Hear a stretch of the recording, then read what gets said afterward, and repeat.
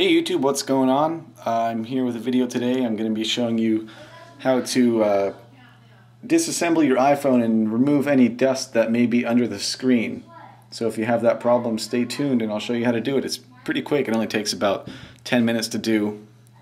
And I'm here with a very special guest, my dad. Hello.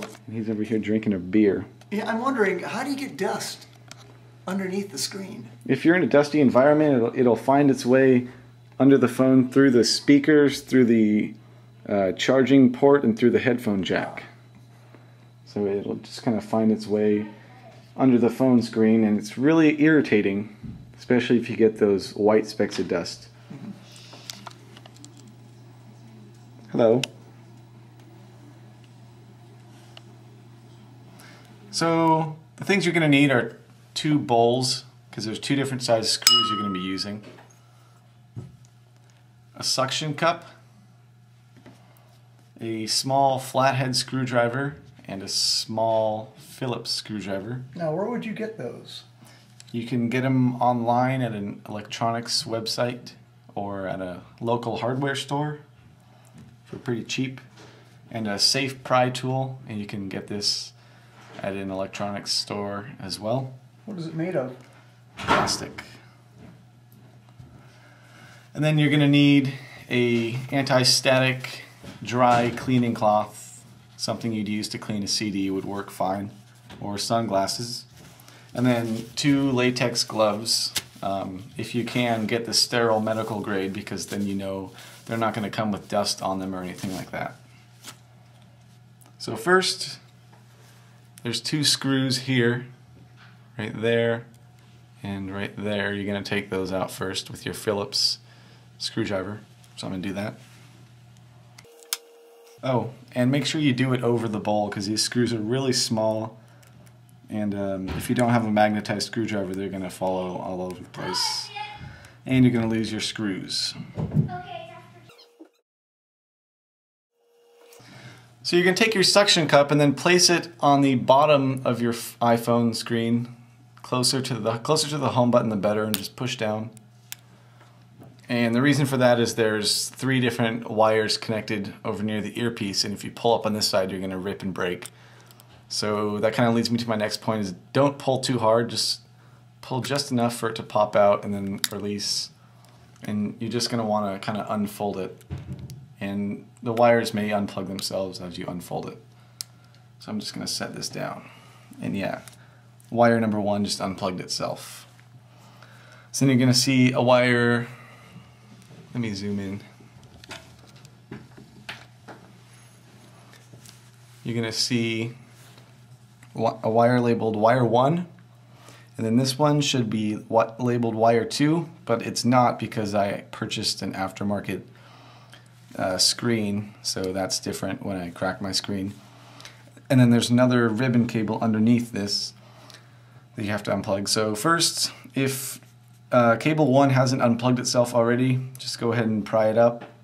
And then use your safe pry tool and pry out this one. Should come out pretty easily.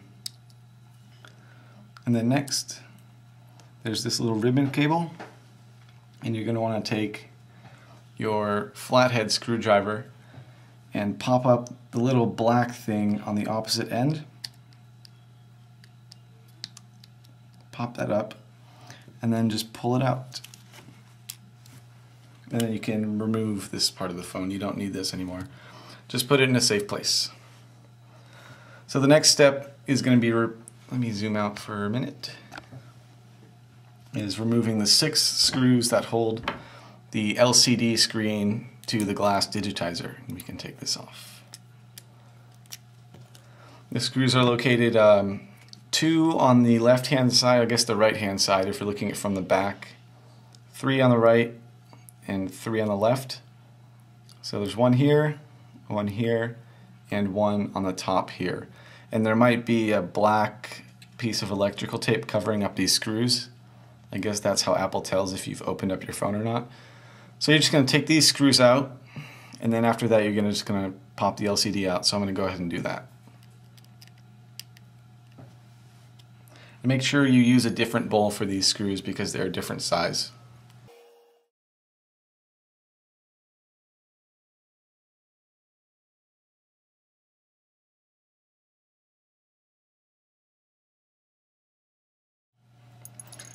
Alright, so once you're done taking out all six screws, you're going to take the flathead screwdriver again and zoom in.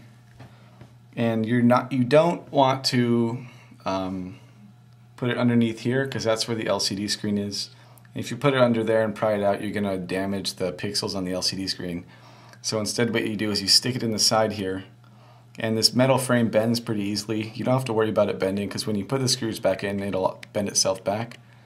So you just kind of pull up on both sides and it should pop out pretty easily. And then you pull it towards the bottom of the phone and then the LCD will just come out. So then you have the LCD and the digitizer. Make sure you don't touch this portion of the phone down here, that's the home button. It's really fragile and it can break easily. So the next step is to put on your gloves because you don't want to get any fingerprints on your screen while you're trying to clean it. Now, could you use Windex on no. the inside? Don't use any wet chemicals, just use a dry lens or computer screen cloth, especially on the LCD screen. I guess you could use it for the digitizer, but you probably don't want to because there's some electrical stuff there. And for the LCD screen, this isn't protected by any plastic film or anything. It's just an LCD screen, so be really careful and don't press too hard.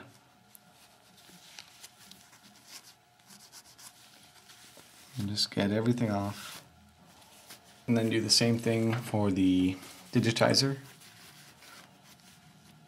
And for this, you don't have to be very careful. Just don't bend this metal part here. An easy way to check to see if you've gotten all the dust off is just to hold it up to a light. And make sure you just clean both sides because it's kind of hard to tell what side the dust and fingerprints are on. So once you're confident that you've got all the dust off, you're just going to want to put everything back on how you found it. And make sure that no dust has fallen on anything while it's been sitting out because sometimes dust just kind of is in the air.